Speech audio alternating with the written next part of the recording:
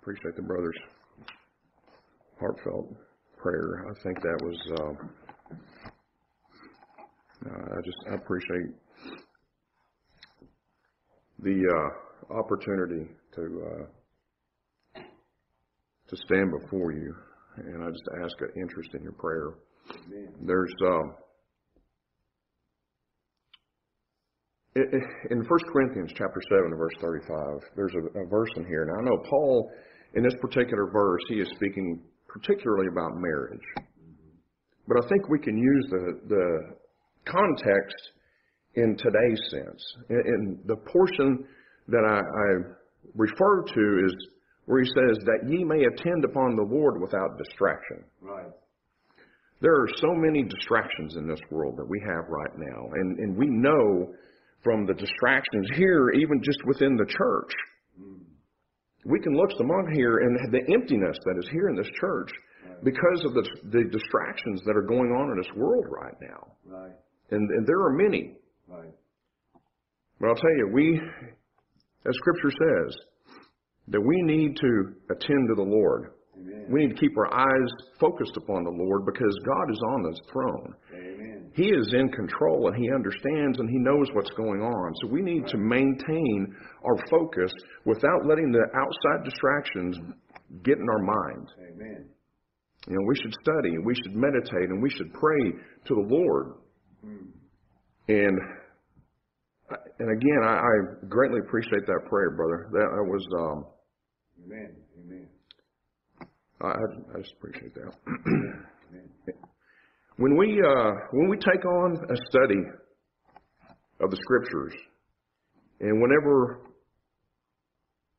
we speak to others, we need to understand first and foremost who the scriptures are written. When we again when we begin to study and read the scriptures, to whom is the scriptures written? Is it written to everybody, every man, woman, and child that's ever walked on the face of this earth?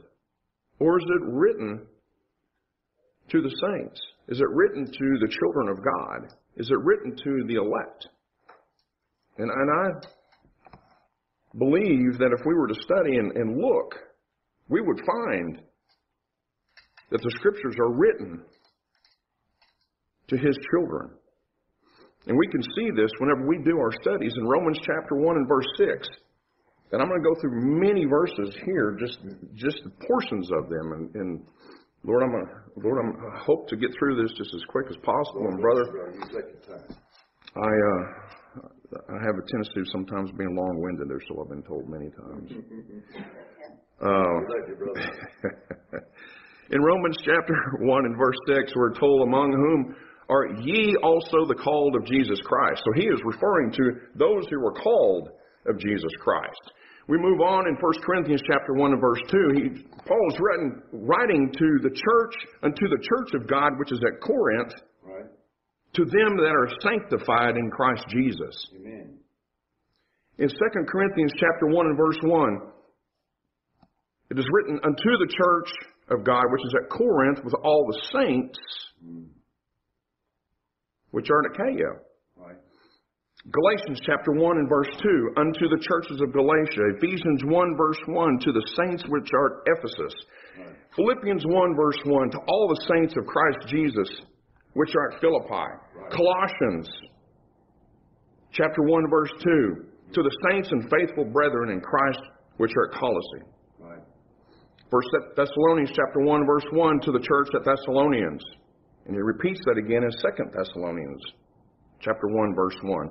First Timothy chapter 1 and verse 2 unto Timothy, my own son in the faith. Second Timothy to Timothy, or Second Timothy chapter 1 verse 2 to Timothy, my dearly beloved son. Titus 1 ver, chapter 1 verse 4 to Titus, mine own son after the common faith. And it goes on. Philemon chapter 1 verse 1, James chapter 1 verse 1 to the 12 tribes, 1 Peter chapter 1 verse 2 to the elect, 2 Peter chapter 1 verse 1 to them that have obtained like precious faith. Right. Jude chapter 1 verse 1, to them that are sanctified, and Revelation chapter 1 verse 1, to show unto his servants. Right.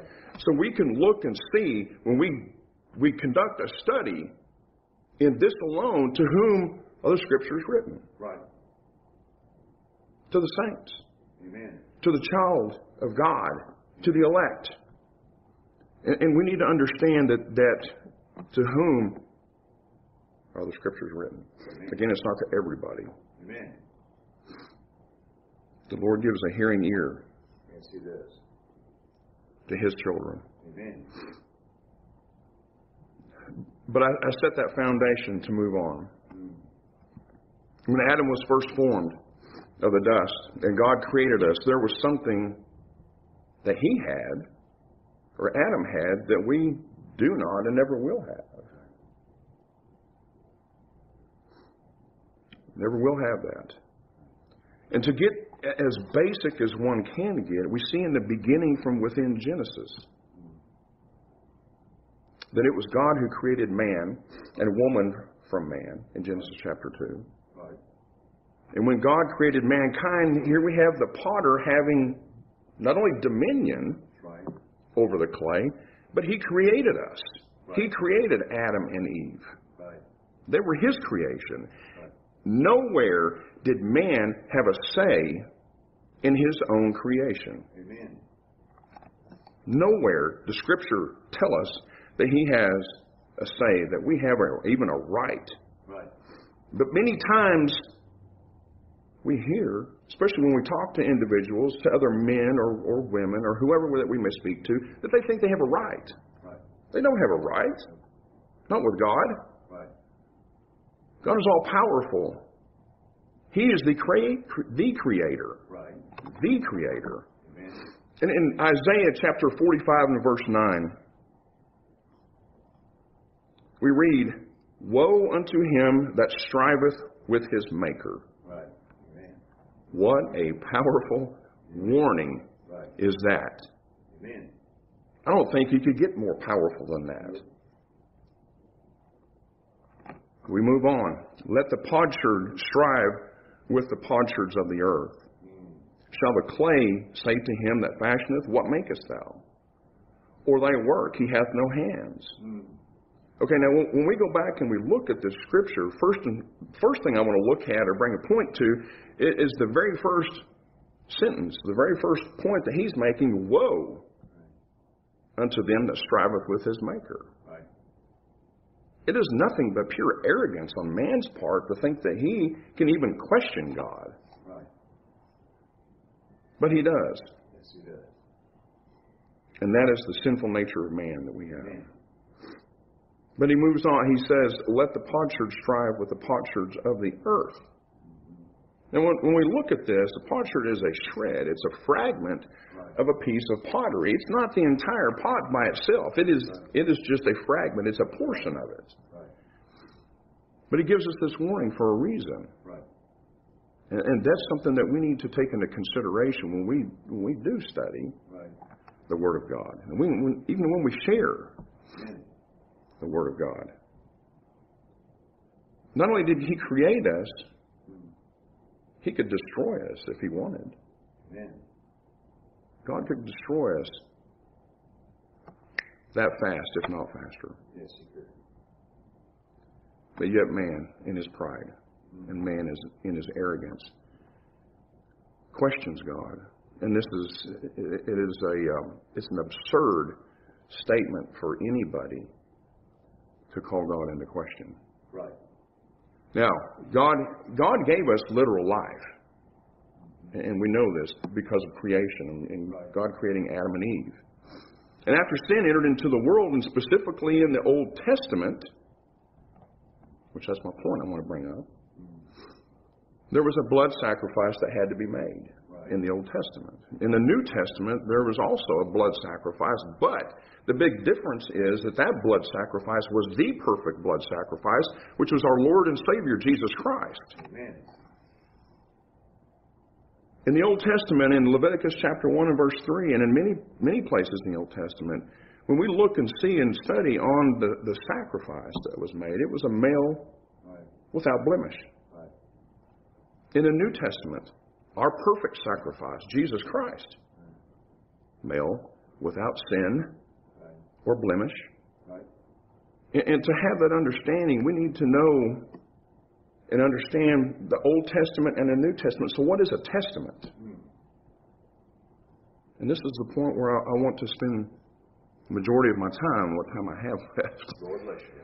When we look at the word testament, there's something that, that we should remember.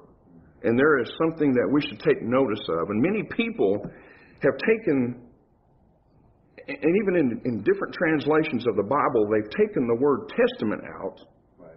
and replaced it with other words. Right.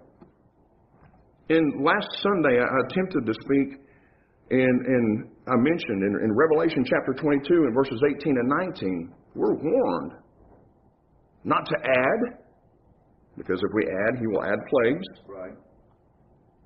or in verse 19, to take away Right. from the prophecy, from scriptures. We're told not to do this. Right.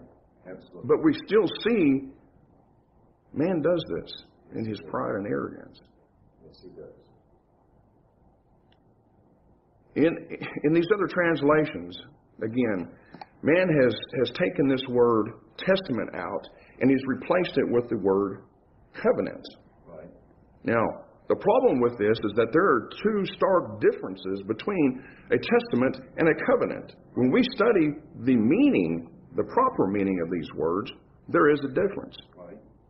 And we need to understand that every testament, and hopefully I don't confuse anybody here, every testament is a covenant. Right. But not every covenant is a testament. That's correct. And this, this should give us caution in what translation that we use in scriptures. And I'm not going to mention the specific uh, translation, but I've seen it with my own eyes. And it's, it's uh, when I read this at first, I'm thinking, that's not right. Right. You cannot use that word in place of testament because, uh, well, I'll get to my point. The word testament is never mentioned, and when we do a study of the word testament, the word is never mentioned in the Old Testament. But yet, when we look in the New Testament, this is where we're going to find this word, the specific word testament. Right. That word testament is mentioned 13 in 13 different verses.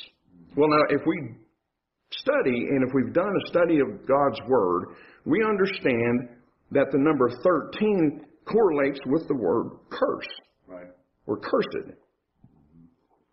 Now, because of God's covenant love for us, you know, He made a provision for us. In, in Galatians chapter 3 and verse 3, 13, Christ hath redeemed us from the curse of the law, Right.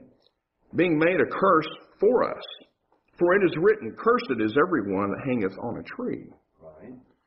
Christ, the Son of God, the Son of Man, was made a curse for elect man. Exactly. He hung on the tree of the cross in order to redeem us from the curse of the law. Right. And he bore our curse for us. And, and according to 2 Corinthians chapter 5 and verse 21, we read here, For he hath made him to be sin for us who knew no sin, Right. that we might be made the righteousness of God in him. So again, when we look at this, Christ bore our, our curse and then imputed his righteousness unto us. Right. So, when we look at these two words, covenant and testament, well, both of them are legal terms. And again, if we've done any amount of studying in the scriptures, we see that God uses many, many legal terms in the Bible. Right. And these are just two of them. Mm-hmm. A testament is, uh, is something that is freely gift, gifted to some, someone. Right.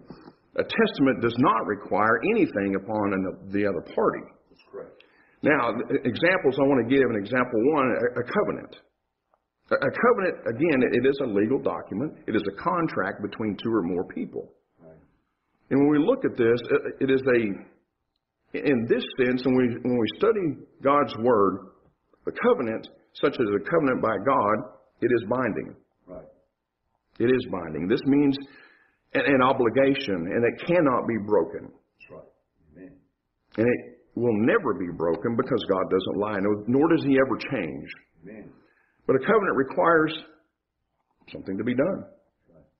So when we look at even the, the, the covenant that God made with Noah, Right. what did he do? What did God do? He set a bow in the sky. Yes, it is. And he, he set that bow, that rainbow in the sky, signifying that he would never destroy the world with, with a flood or with water again. Right.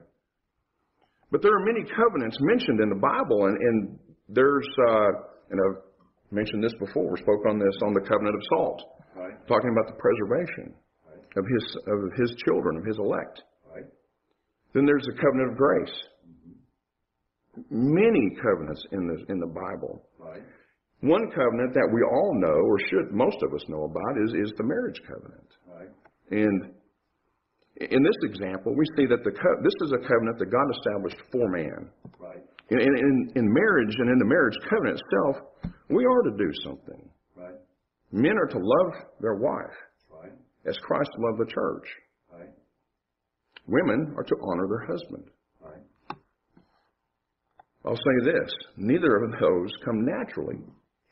To us, and this is something that is a it is a struggle for us, and this is something that we must we must work at it. It is something that we must we must do. A testament. Okay, so what is a testament? Again, a testament such as a last will and testament. When we go back and we search and we, we study the word testament, testaments have been around for many years, and they were before the time of Christ. Right.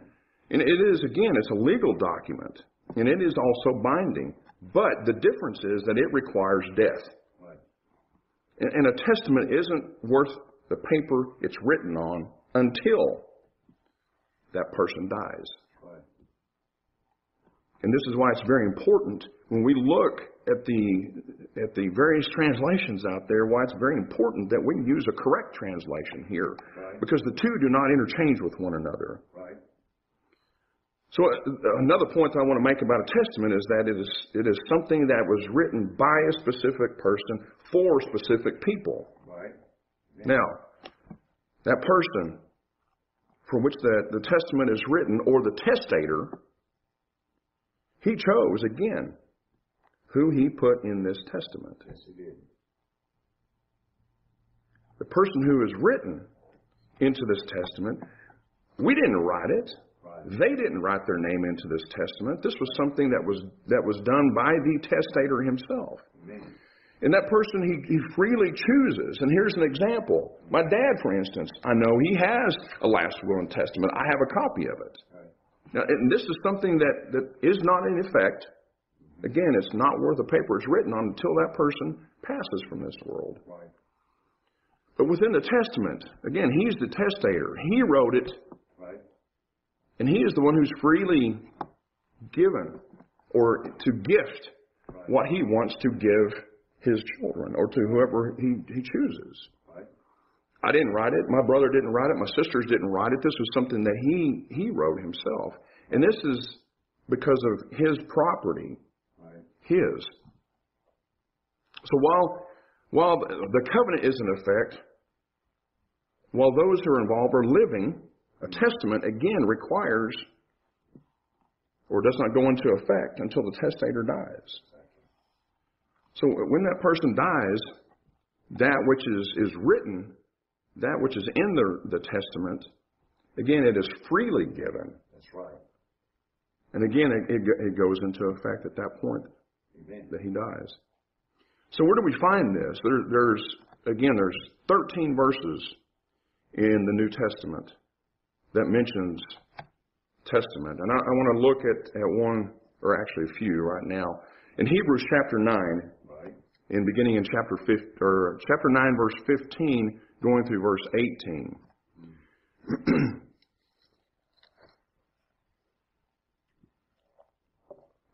Butterfingers. Good. In, uh, in verse 15, and for this cause he is the mediator of the New Testament, that by means of death, for the redemption of the transgressions that were under the first testament, they which are called might receive the promise of eternal inheritance. Right. For where a testament is, there must also of necessity be the death of the testator. Right. For a testament is of force after men are dead. Otherwise, it is of no strength at all while the testator liveth. Whereupon neither the first testament was dedicated without blood. So we go back and we look, and beginning in verse 15, who's the mediator? Well, if we were to go back up in, in the previous verse, in verse 14, and for a time of brevity, and I'm going to go way over my time, brother. Um, but um, who's the mediator? So we, we, we know if we go back and look in verse 14, it's Jesus Christ. He tells us that is his blood. Furthermore, in, in 1 Timothy chapter 2 and verse 5, we're also told here, For there is one God and one mediator between God and men, the man Christ Jesus. Verse 16, as we go through here and look at this, he tells us that the testament requires the death of the testator. Right. We've already covered this. Verse, verse 17, it goes on and tells us that for a, a testament to be in effect or to go into full force, it requires a person to be dead. Amen. Otherwise, it is of no strength. It has no bearing. Right. Verse 18, we see that it was it was dedicated without blood, the Old or the First Testament. Right. So, so why is this important? And, and why must we know the difference? There, again, there are translations that take the word testament out of these verses, and, and especially in Hebrews. And this is what shocked me when I when I read this and I saw this, and it replaces it with the word covenant. Right. And, and what it does is it takes away and it diminishes the death of Christ as our sacrifice. Exactly. When you take the blood of Christ out, the death of Christ out, you pervert it at that point. Yes, you do. There are four elements to a testament that I want to look at. And, and they're, they're provided in the verses that I mentioned above. The one is the testament. Right. We have the testament here. Right. Two, it's the mediator, the mediator of the testament. Three is the testator himself. Right.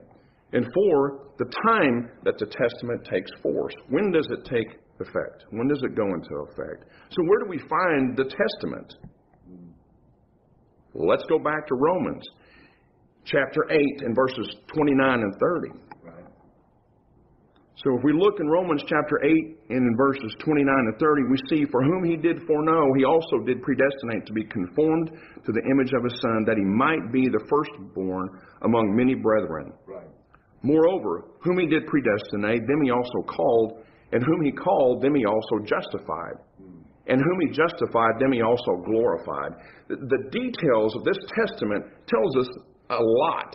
Amen. It tells us many things here. One, it tells us the beneficiaries of the testament, Exactly. or those who God foreknew before the foundation, the elect. Right. This answers the who. The second point is that it, it points out the benefits of the testament. That those named beneficiaries are to be finally glorified and conformed to the image of Jesus Christ. Amen. The third point is that the mediator of this testament is Jesus Christ. Exactly right. And He is the one who calls us, He's the one who justifies us, He's the one who glorifies us. Hmm. And this is according to His terms, Right. not ours. The fourth and last point I want to make is that the testator, the testator of this testament is Jesus Christ. Amen. And so when we when we look at this and we notice that once the testament comes into force, it's too late to add names. Exactly. You can't add names to the testament. Exactly. You can't remove names from the testament. So when Christ, the testator, died, that testament came into force. Amen. It did. So now, amen, brother, and now the terms. The terms, it cannot be changed. Right. The terms of this testament. Amen. The beneficiaries cannot be changed. And, and all of the labors that so called preachers and, and others, you know, understand that they're, one, they're doing this in vain. Right. Understand they have a heart for the Lord Right. And have a zeal for the Lord, but it's according to ignorance.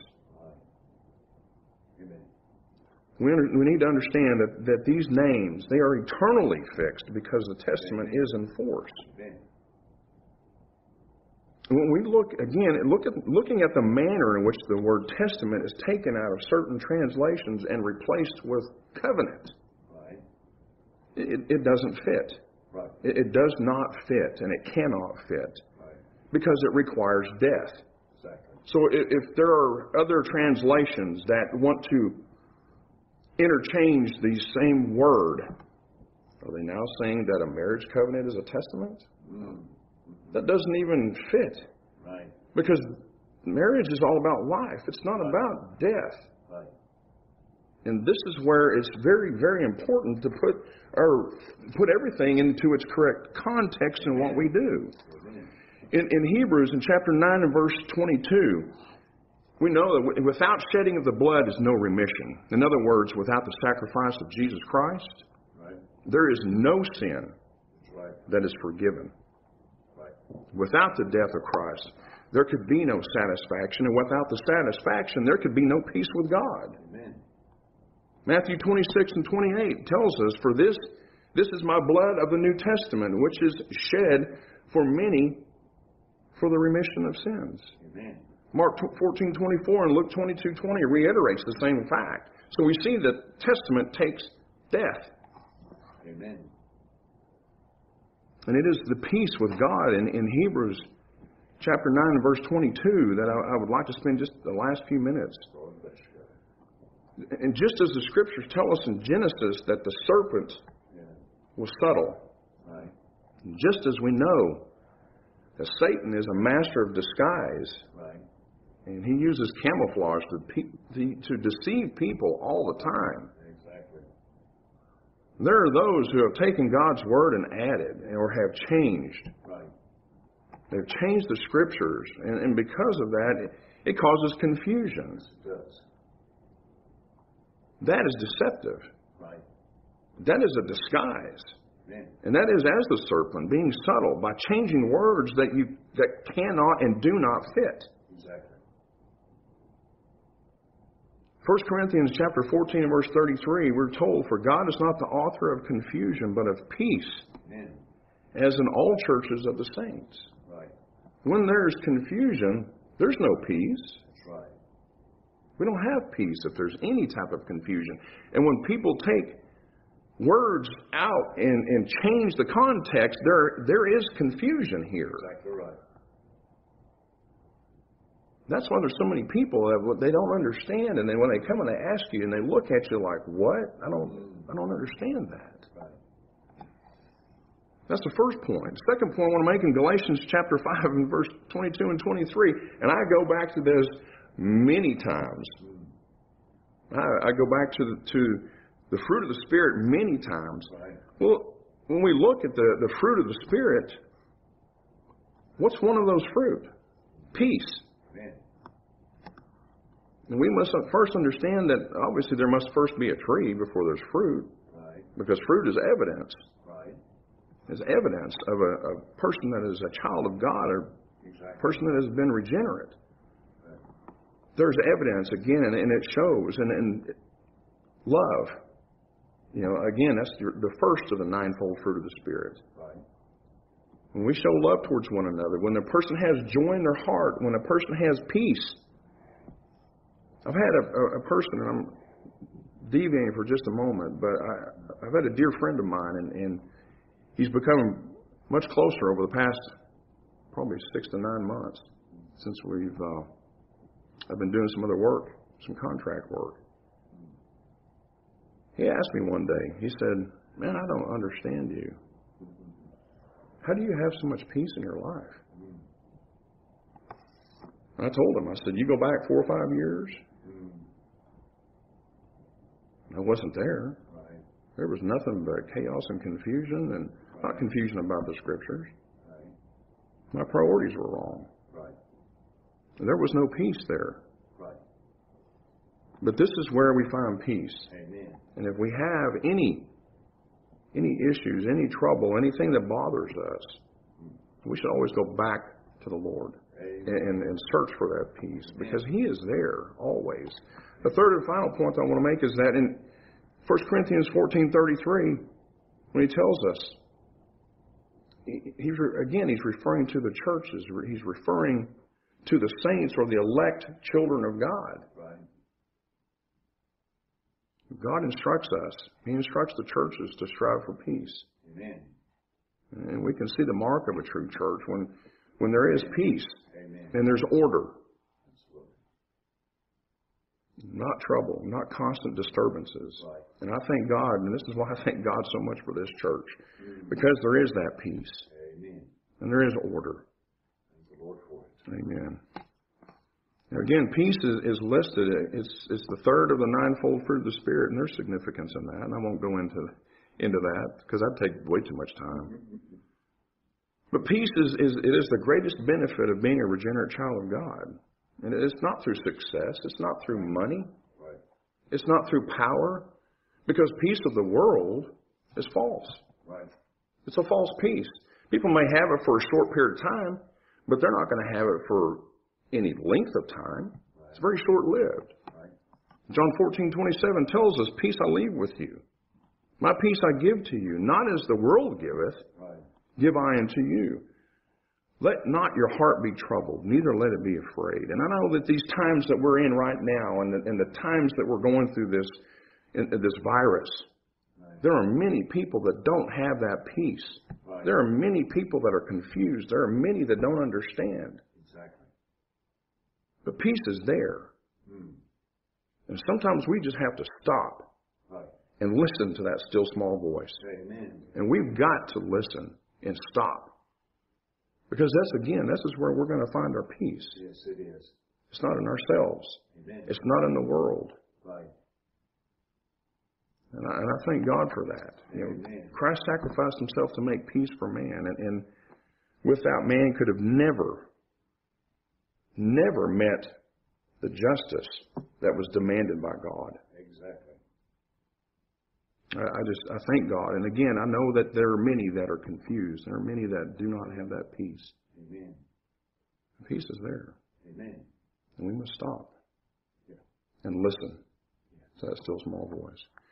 I thank you for your kind attention this morning.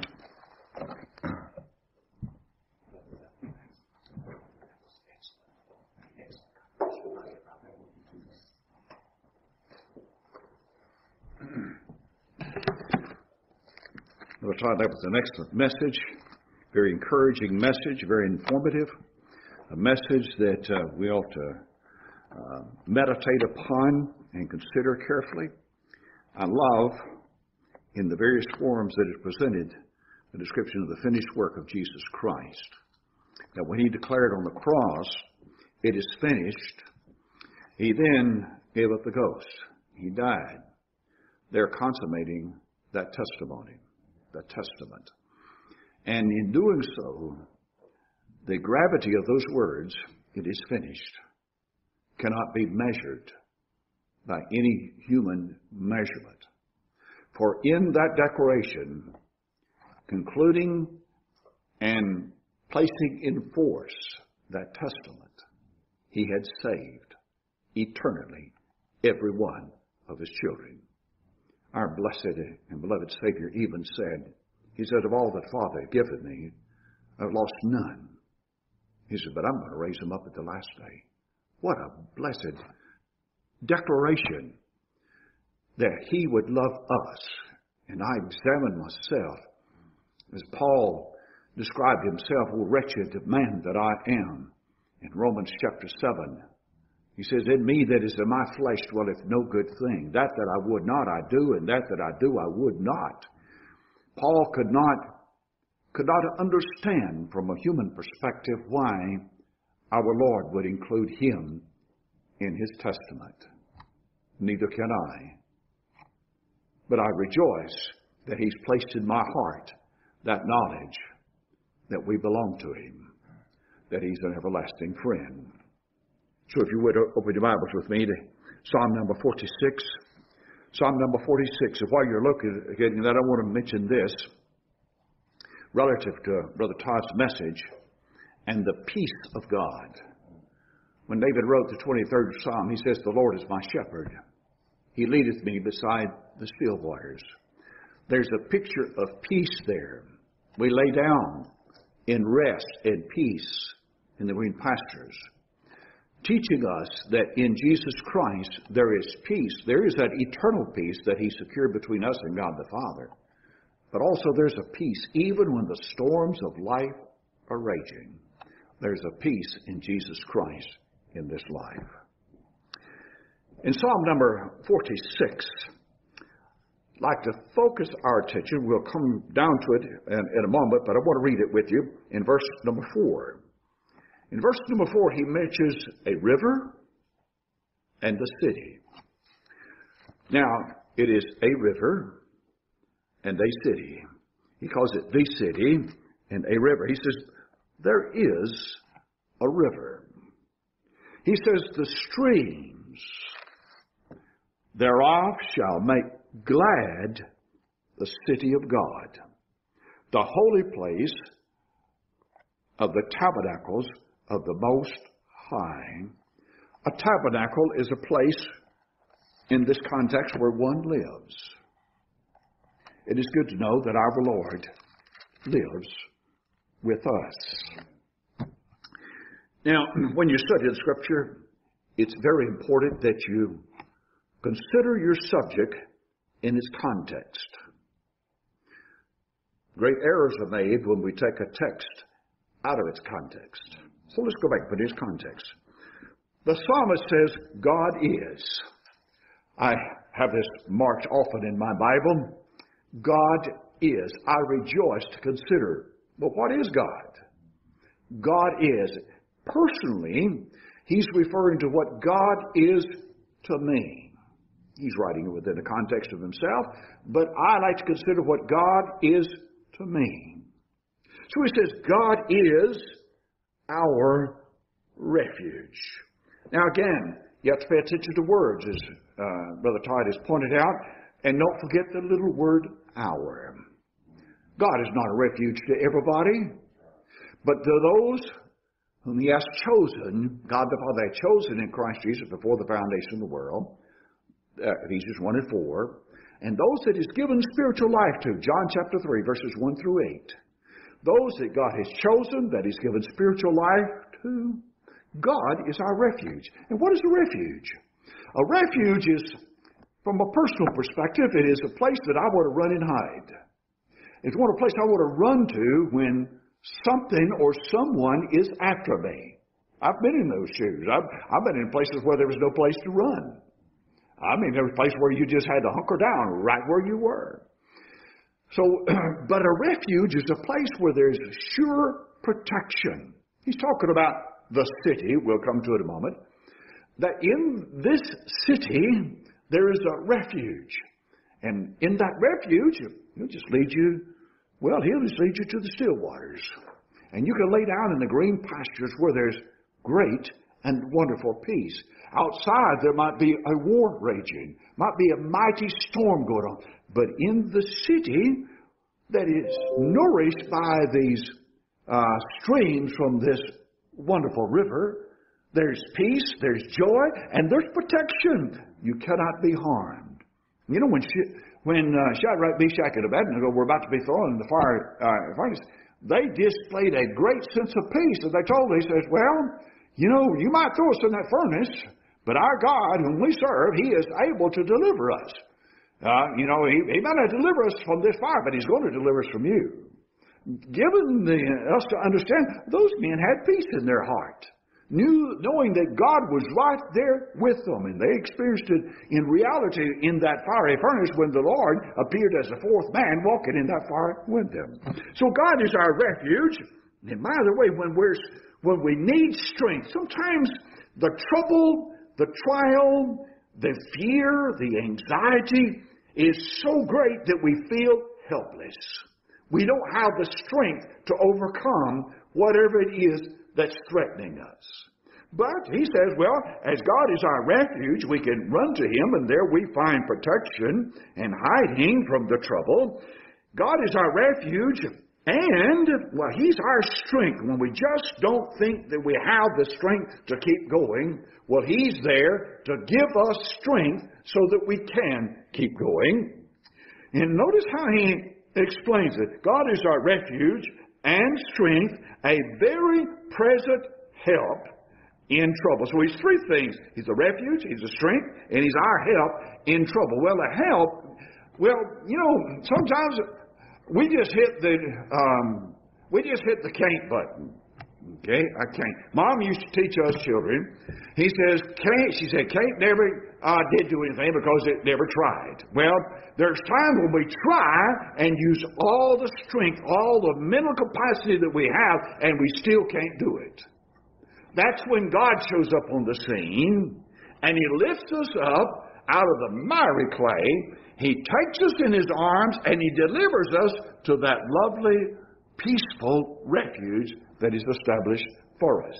And for the second time, that refuge is pro- uh, prophecy, that city is prophecy of the church of Jesus Christ that we have today.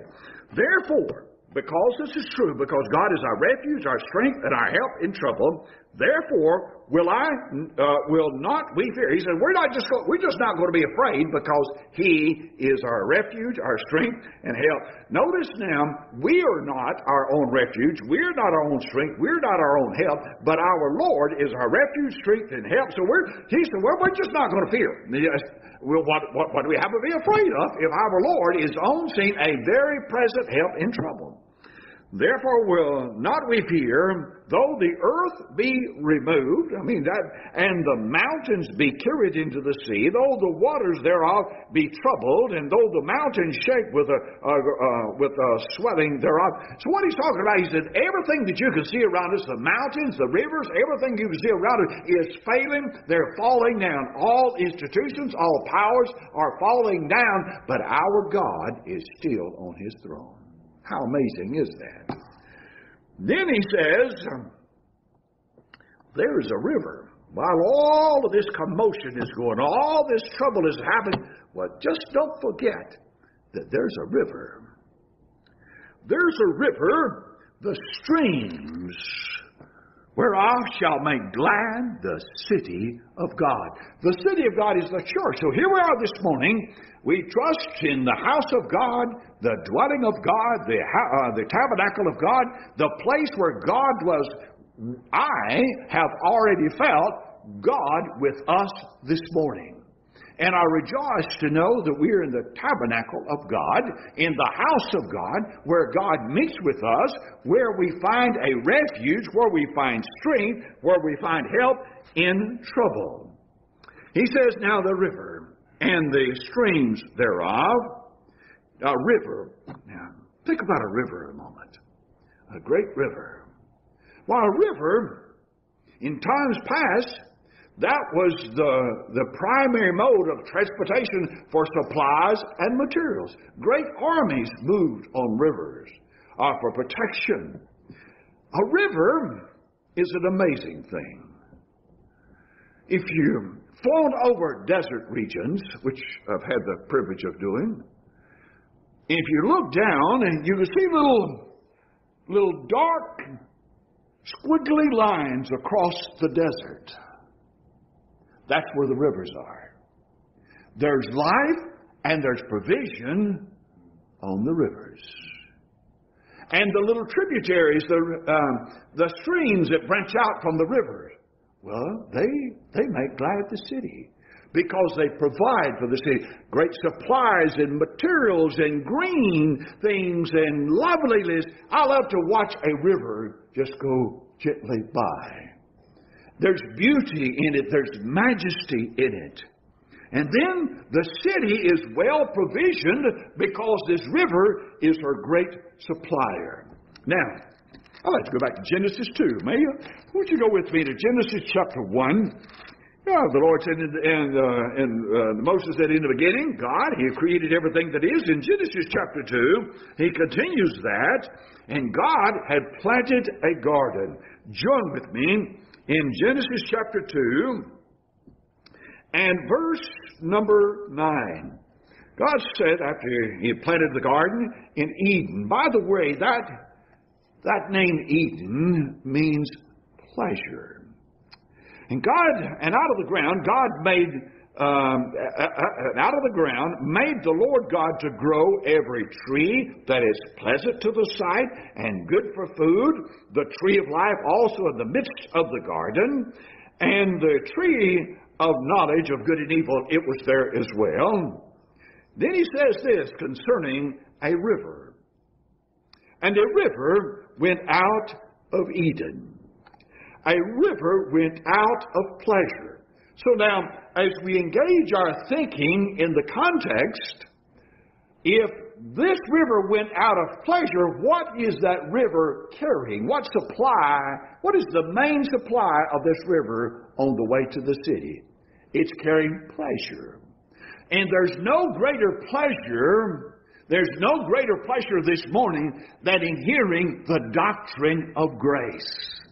That God has saved a people that did and do not deserve to be saved. He has saved us to heaven by the shedding of the blood of His only begotten and beloved Son. When I see my Savior through, my, through the eye of faith hanging on that cross, when I see Him hanging there, and they're mocking him, they're laughing at him, and, and he having to have the power to command legions of angels to come and deliver him, yet he continued to hang there, and he was waiting upon his hour and that moment when he would be made to be sin for us, though he knew no sin, he would be made sin for us, uh, 2 Corinthians 5 and 21, that we might be made the righteousness of God in him because he was shedding his blood. And we declared, It is finished. He had saved his people from their sins and secured our eternal home in heaven, all by grace, because we have all sinned and come short of the glory of God. John said in 1 John chapter 1, he says, He that saith he hath no sin deceives himself, and the truth is not in him. So it's by grace. That means he has given to us by inheritance, he's given to us this blessed grace that we don't deserve. Now, also, he said, John said, he said, He that saith he hath no sin deceives himself, the truth is not in him. But furthermore, he makes God a liar because God, he said, we've all sinned and come short of the glory of God. There's a river. Went out of Eden, the place of pleasure, to water the garden, and from thence it is parted into four heads.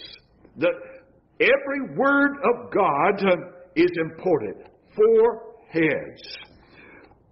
The name of the first in verse number 11 is Pison. Pison. That word Pison means increase. That means things are going, I mean, there's going to be increase of blessings and joys along the way as this river is flowing to the city uh, the city of God, the blessedness of God, there's going to be a great increase. And that has increased every generation, it has increased. But not only that, it increases in joy and peace. The closer we come uh, to this hour, the greater our peace and joy. The name of the first is Pison. That is uh, it which compasses the whole land of Havilah. Uh, where there is gold, there's beauty.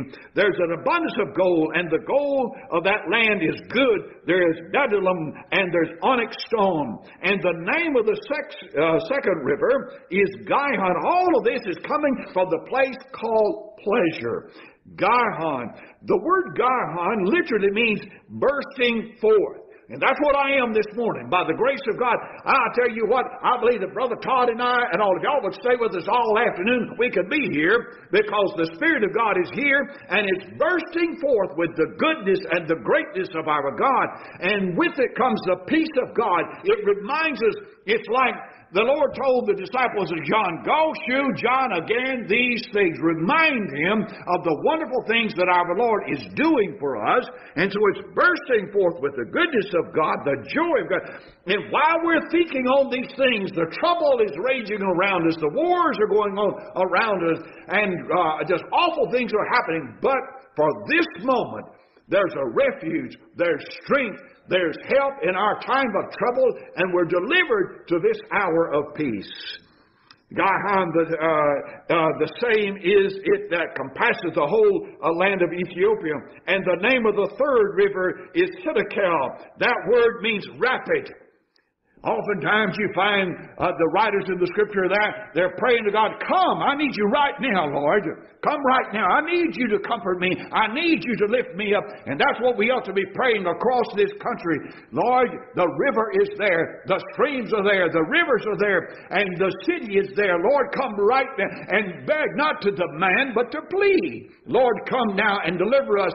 Send, Father, what it takes to, uh, for us to recover from this awful virus. Uh, send, oh Heavenly Father, what it takes for us to get on with our lives. And when it is done, Father, move in the hearts of your people and their minds that they will come and sit and fill these pews, that they would fill the houses of worship, that they will sing praises to you, that the prayers will go forward, and there will be great crying out uh, to worship the Lord God, and amens will fill this country as, uh, as the ministers of the gospel uh, declare the goodness and the greatness of our God. Hiddekel that is it which uh, goeth toward the east of Assyria. And the fourth uh, river is Euphrates. The, that word Euphrates literally means fullness. That means my cup is running over with the goodness and the greatness of our God. Uh, with His help, with His strength, uh, with His uh, mercy, His grace, my cup is running over. It is full because He's the great provider of the things of our God. Now, Let's move on to the city. I want you to go back with me to Psalm number 87. Psalm number 87. Many rivers. As a matter of fact, Revelation chapter 22 ends with a river. It was a river that uh, um, that um, that was seen um, by by John, uh, who received the revelation from God, now I want to look at um, at the city. Psalm uh, number uh, number 87, a beautiful psalm, uh, as all of them are, but it's a beautiful psalm describing the city of God. Psalm number 87. Yeah, I, I do have Psalm 87 in my Bible. I'm sure it's in here. There it is, right there. Psalm number 87, verse number one. Speaking of the Lord the pronoun, personal, uh, the pronoun of God, His foundation. That means His strength, His, uh, His continuance. His continuance is everlasting. His foundation uh, teaches us that in the city of God, He is our strength. All the house of God is built upon His foundation. His foundation is the holy, is in the holy mountains. And by the way, there's more to that than we can preach it a whole day. Because you remember, you remember when um, when the Lord told Abraham, He said, Abraham, take thy son, thy only son, the son that you love, you take him to the land of Moriah. And the land of Moriah, to the place that I will shew thee, the Moriah means seen of God. There was a place in the mountains of Moriah that God said, I'm going to show you something there. And so what he showed him is that his the sacrifice of his son was not required, but that, that, he, that God the Father would sacrifice his own beloved son for us. Another subject for another time. His foundation is the holy mountains. The Lord uh, loveth the gates of Zion. Means he loves his city, the city of God, the house of God, the refuge of God, the church of Jesus Christ. And Jesus Christ said concerning this foundation, he said, Upon this rock I'll build my church, and the gates of hell shall what? Not prevail against it, uh, telling us that it is secure. When the Lord comes back, there's going to be somebody somewhere worshiping in the church of Jesus Christ, the tabernacle of God, somewhere on this earth. The Lord loveth the gates of Zion more than all the dwellings of Jacob. He says, Glorious things, speaking of this city, glorious things are, are spoken of thee. Glorious things. It means wonderful things. When you speak glorious of something or somebody, you talk about how wonderful they look, right? And how wonderful they make you look because you get to see them. And so I could spend another 10 minutes here talking about all of y'all this morning. There's one, two, three, four, five, six. Counting me here this morning. I'm not looking at me, but I'm looking at y'all. And so I could tell the whole world how glorious y'all look this morning. I tell you, uh, from my spiritual view, y'all are the most beautiful people in the whole world this morning. I wish I could see everybody that's looking at us on the way internet, and I, I, know that they're beautiful as well. They're glorious. You're lovely. You're my family. You're my friends. You're my joint heirs to the testimony of Jesus Christ. He says, Glorious things are spoken of thee, O city of God, Selah, punctuating. He says, This is true. he said, I don't care how much you say good about the house of God, you still haven't said enough. You can preach it day after day after day, but you still can't say enough about how glorious uh, the house of God is. We'll sing that song in a minute, the Lord willing. Then he says, I will make mention, mention of Rahab, of Babylon, to them that know me, uh, behold, Philistia and Tyre and Ethiopia, this man was born there, and Zion, uh, and of Zion it shall be that this and that man was born uh, in her. Now, you know, if you're proud of your city where you came from, if you're proud, then you're proud to say, I was born there. And if it's a very notable city, then um, anybody that was born there, they're quick to tell you where they were born. It's almost like folks who have their favorite uh, uh, football team. They all like to tell you, this is my team. I like this team, but I'm going to call Danny this morning because I guarantee you I'll get in trouble if I do. But whatever your team is, you're proud to say, This is my team. I associate with them.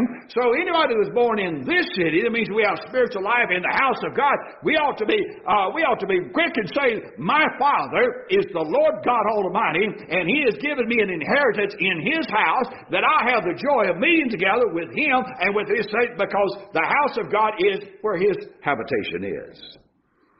This is that man was born uh, in her, and the highest uh, uh, himself shall uh, establish her. That means the highest means, just speaking of God, I mean there's none higher than he, more, none more powerful than he, none having more authority than he, um, and he is the one that established her. That to establish has a context. Not only did he build it, but he's the maintainer of her. Generation after generation, he still maintains her. The Lord shall count. Did you know the Lord does mathematics? I guarantee he does. The Lord shall count. So what's he counting? You know, and I, I, I remember teaching my kids how to count. I don't remember when I learned how to count. That was too long ago. But I remember teaching my children how to count. We started off one, two, three. One, two, three. I'd get them down to one, two, three, and I said, okay, one, two, three, four, five. We get up to five. Then we got to ten. And, and when we got up to 100, there's something magical about a 100. When we got them to a 100, I mean, they were happy and we were happy. And so when visitors would come over and we'd get them to demonstrate that they could count to a 100, the visitors didn't really care. But, you know, they, they made the children feel good by telling them, well, that is good. Can you do it again? You know, and so it, it was a, counting is an important thing, especially when you're one of the ones that is counted. Now, watch this. The Lord shall count when He writeth up the people. You know what that means? You know, in in in in in the uh, in the uh, in the book of God, in the mind of God, He knows exactly how many is in that book. He wrote this book before the foundation of the world. This is a ledger in the mind of God, and He knows exactly how many is in that book. And all who are written in that book, He has counted them, and He's the perfect mathematician, but He's also the perfect and almighty God. You ever lose anything? Have you ever lost a $20 bill? Brother Todd did because he gave me one one day. But it ain't lost. I still got it. I lose things, but I assure you that God, when He when He tallies it up on the last day, when He tallies it up on the last day, there's going to be just as many in that book as there was on the day that He said, "Let us make man." Says that the Lord shall count when He writeth up the people that this man was born there. He says, uh, "There, I'm going to be. I am a citizen of this city. I am now, and I will always be a citizen of this city." Now. Hebrews 11 and 10, Abraham looked for a city. He was looking for it, just like they were looking for the Testament. They were pointing toward that. They were looking for it. They didn't have it then. What they had was a prophecy of that Testament. They had a prophecy of the city. They had a prophecy of the river. And we get to rejoice now. We've got it so much better because what we have today is what they were looking forward. They were looking for the Messiah. Well, the Messiah has come and he's on his throne today. And Job, though Job could see him, he said, I know that my Redeemer liveth in Job chapter 9. But the Redeemer hadn't come yet, but today he has come and he has saved his people from their sins. Go back with me now to Psalm number 46. Oh, this river. He says, There's a river all the streams are lovely. They're beautiful. The streams whereof shall make glad the city. And I'm glad this morning. I don't want to quit. I don't want to leave, y'all. I want to stay here. I want to keep talking about the things of the Lord because the longer I think on these things, the happier I get. And reckon I might even shout. How about that? That'd be all right? All right, he says in verse number five, he says, God is in the midst of her. That means you may think you're alone. We may be spread out all over the all over the country. We may be spread out everywhere, but I want to tell you something. God is in the midst of the house of God. If he's in the midst, that means he's the, he's, he held he holds the preeminent seat. He holds the seat of authority, the seat of power. He's the protector. He's the leader. He's the one that leads us uh, uh, by the still waters. He makes us to lie down in the green pastures because in this city is our refuge from the things of the world. God is in the midst of her. She shall not be moved. God shall help her, and that right early. That means God is going to arrive on the scene just in time. He's going to get there when it's just right. He knows the right time. You know, sometimes when we're involved in something, we're doing something, we don't know what the right time is. We're just guessing at it a lot of times, we just make the best kid guess we can and keep going. But God knows exactly when the right moment is. Now, I, I firmly believe with every, every fiber that's in me, at the time that God knows best, He's going to bring an antidote. He's going to bring uh, something to put a stop to this virus, and He's going to steal the fears of the people of this country. He'll do that. All right? Well, he talks about trouble now. God is on the scene. He's in his city. We have this refuge. The heathen raged, uh, the kingdoms were moved. Uh, he uttered his voice. The earth melted. He said, when trouble was going on, God just spoke. He just said, Peace, be still, and then the earth melted. I mean, everything just ceased around him because everything is subject to his power. Then he says, The Lord of hosts is with us. He reminds us over and over again, the Lord of hosts is with us. We're not alone. Sometimes we think we're alone. Sometimes we think we're isolated, but we're not because the Lord of hosts. And what does it mean, the Lord of hosts? Don't skip these words. I know it's five after twelve, but you folks at home are sitting in your lounge chairs and on your sofas, and you're perfectly comfortable drinking your iced tea, so just sit still for a moment. The Lord of hosts means the Lord of hosts refers to the uh, commander of a great army. The host is the great army. The symbolism there is the God of great power. There's no power like God's. He has perfect, absolute power. He's omnipotent, meaning that he has all power. So he says, the Lord of hosts, the Lord of great power is with us. We may think that we don't have the strength or have the ability, we're not going to make it. But let me assure you, because God's people are, are falling down before God in at the throne of grace, He is hearing, and the day is going to come when this is going to pass from us. The Lord of hosts is with us. The God of Jacob is our refuge. Selah. He punctuated. This is true. Come, behold the works of the Lord. He says, just stop and consider what great things God has already done for us. Why is it necessary to study the Old Testament? Because in the Old Testament, in the beginning, there was God. And God said, Let there be light, and let there be this, let there be that, let there be the other. And God took uh, uh, the very uh, ground and He formed man, and He breathed into his nostrils the breath of life, and it became a living soul. And just remember that He's the same God that brought the flood that saved of uh, saved Noah and his family. He's the same God that has uh, made the sea part. He is the same God that done, has done all of these things. The same God is on His throne this morning. He says, Come, behold the works of the Lord. What desolations He hath made on the earth. That means He got the victory. Every time He gets the victory. Now look at that verse number nine. He maketh wars to cease. You know, that means wars rage. They do come.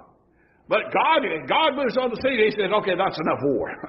this, this war, this battle has gone on long enough, and He puts a stop to it. We, men think they put a stop to it. But God raises up men. He raises up uh, uh, uh, uh, institutions. He raises up uh, organizations. He raises up countries. He raises up. He's going to raise up a man, a woman, somebody that has the knowledge and is going to put together something uh, medically to stop this virus. I believe it. I just, I'm absolutely convinced of it.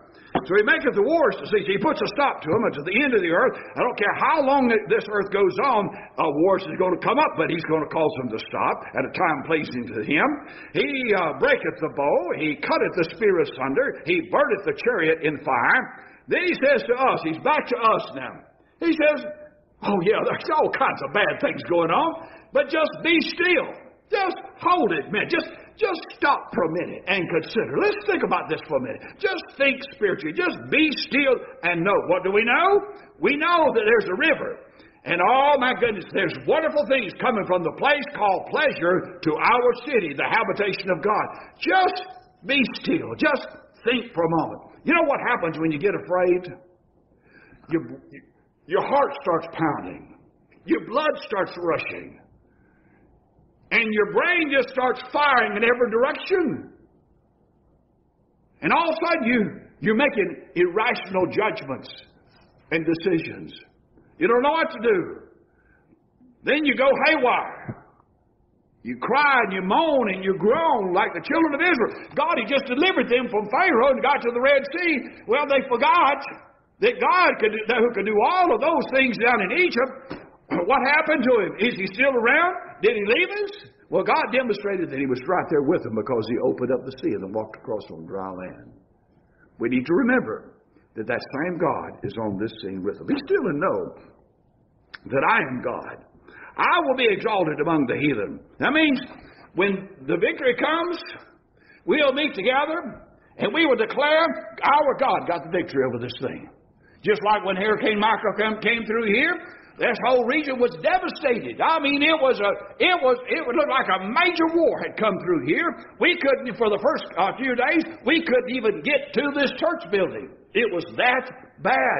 But God provided, He said, help. He said, uh, uh, strong backs and He uh, lifted us up and encouraged us and helped us. Now we're restoring, by the grace and mercy of God, the beauty of our city. We have a lovely church building. Nobody's here. Well, there are. There was uh, two, four, six of us here today, uh, but there's a lot of folks joining us today, rejoicing with us because God has blessed it. He got us through that. He's going to get us through this, and probably in a year or so, something else is going to come up. He's going to get us through that too. Be still and know that I am God, and be exalted among the heathen. I will be exalted in the earth. The Lord of hosts is with us, and the God of Jacob is our refuge. We're not alone, but the God who has all power is right with us today, and He's our help, and He's our strength, He's our best friend, and He's our comforter. And our hymn, 213 hymn number 213.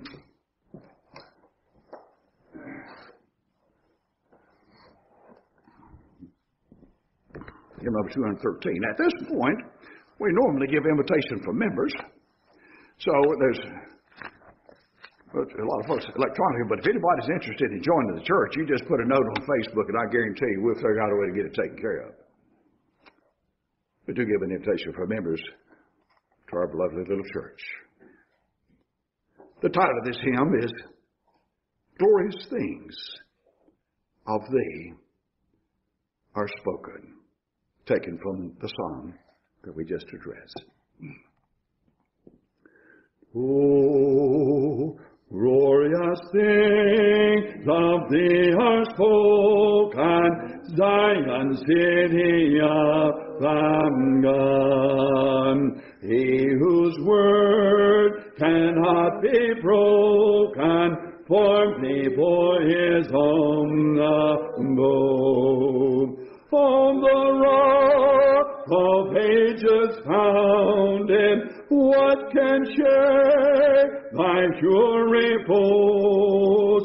With salvation walls surrounded, thou mayst smile at all thy woes. See the stream of living waters springing from eternal love.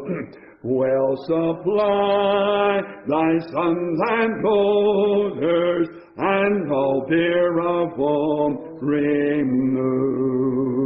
Blessed in heaven, sons of Zion, washed in the Redeemer's blood.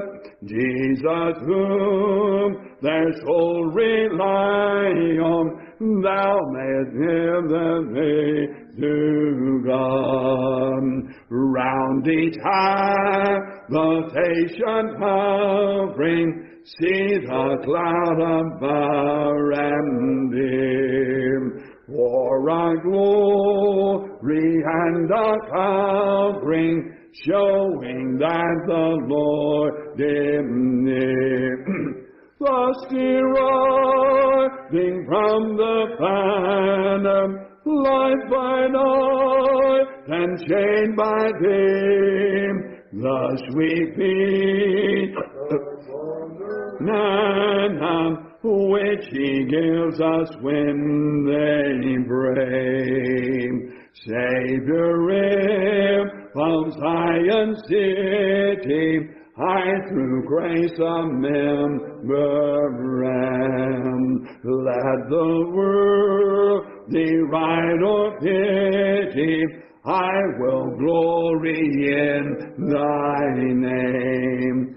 Fading the worldly pleasures, all his boasted pomp and show. Solid joy, the lasting treasure, none but Zion's children know. Please forgive my cracking voice. Thank you all for joining us today. We Appreciate your prayers. Lord willing, we'll meet again the same way on Wednesday evening at 6:30, and then again um, next Sunday morning at 10:30. We'll continue to meet this way until we get all clear, so that our church family can gather together again. Remember to pray for our nation, our leaders, and pray for the churches, and pray for the pastors that are trying to keep their flock encouraged. Let us pray. There was a man from Gambia, in Africa, hmm Yeah. How about that? So we just, uh, Sister Sarah just shared with us that not only do we have our church family and folks around um, the country listening to us, but folks as far away as Africa are listening to us. And we thank you all for joining with us, and we pray that the Lord has blessed and you've received a blessing. Let us pray in closing. Heavenly Father, we do thank you, O Lord, for your sweet mercy and your grace. We thank you, Father, that you loved us so much that you sent your only begotten and most beloved Son into this world to fulfill the testament to secure our home in heaven. And thank you, Father, for giving us the feeling deep down in our souls that we have part and we're counted among that number with those that thy darling Son saved to eternal heaven when he declared, It is finished. Thank you, Father, that in this life you've given us the church city, the church our refuge, a place of help, a place of comfort, a place of pleasure and joy, a refuge from this world. Please, O God in heaven, bless our leaders, bless our nation. Bless, O Heavenly Father, those who are sick, those who've lost their loved ones, those who are on the, on the front lines, Heavenly Father, protecting us. Bless them and protect them and help them as they go about helping others. And bless each of us, Father, that we would know how to be a blessing, a help, and encouragement to all of those around us. Please, O God in heaven, have mercy upon us and bless, if it could be thy great and glorious will, that this virus will soon pass from us. Not only this, Father, but whatever else might be troubling thy children, deliver them from it, Father. Kindly, O Lord, look upon us with sweet mercy, and as we live out our life, forgive us of our many sins. For it is in Christ's blessed and most adorable name we do pray.